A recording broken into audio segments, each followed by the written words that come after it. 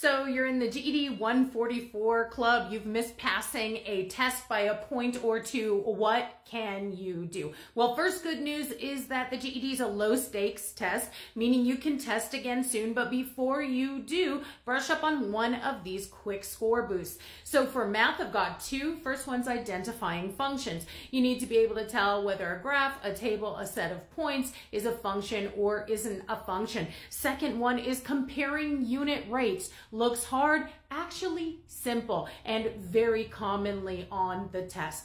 For science, two for that as well. First one is practice identifying independent versus dependent variables in a science experiment.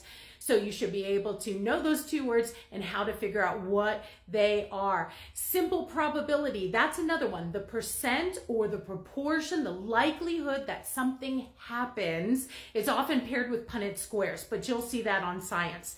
As far as social studies is concerned, social studies and language arts can take a while to build because they're mostly reading comprehension, but that doesn't mean we don't have some quick score boosts. For social studies, it's pictures. So take a look, make sure you're good at charts and graphs, but beyond that, practice interpreting political cartoons. You guys tend to struggle there. And some simple map reading skills. Know north, south, east, west. Know some basic states, east coast, west coast, that kind of a thing.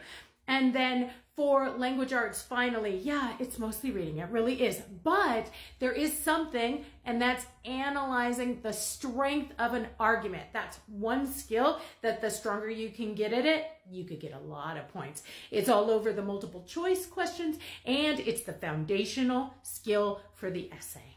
All right, you guys. I hope this helps everybody out there pass their tests. Happy learning.